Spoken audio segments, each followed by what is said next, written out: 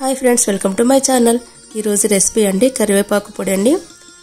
ఎక్కువ ఇంగ్రీడియంట్స్ అవసరం లేకుండా అప్పటిదప్పుడు అండి వెంటనే చేసుకునే పొడి అండి. చాలా బాగుంటుంది. హెల్త్ కూడా చాలా మంచిది కదండి కరివేపాకు అండి. కరివేపాకు ఫ్రెష్గా ఉన్న పచ్చిగా ఉన్నప్పుడైనా చేసుకోవచ్చు. ఆరబెట్టుకున్న కరివేపాకు అయినా బాగుంటుందండి.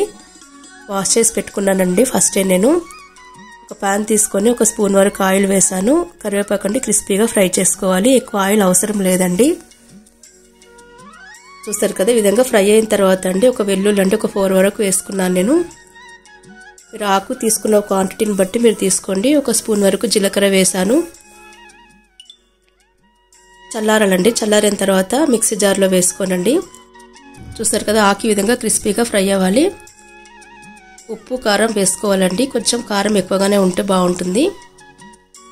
అంతే అండి ఏం అవసరం లేదండి. మెత్తగా గ్రైండ్ చేసుకోవాలి. చూసారు కదా ఈ విధంగా చేసుకోవాలి. ఇది ఇడ్లీలో కానీ చపాతి దోశలో కానీ చాలా బాగుంటుందండి. రైస్లో కూడా చాలా బాగుంటుంది. మీరు కూడా తప్పకుండా ఒకసారి ట్రై చేయండి ఫ్రెండ్స్. పిల్లలకు కూడా చాలా మంచిదండి హెల్త్కి ఈ విధంగా చేసి పెట్టండి. ఇప్పుడండి వేడి వేడి అన్నంలో అండి కొంచెం నెయ్యి వేసుకొని ఈ విధంగా పొడి కలిపి పెట్టండి ఫ్రెండ్స్. చాలా ఇష్టంగా తింటారు.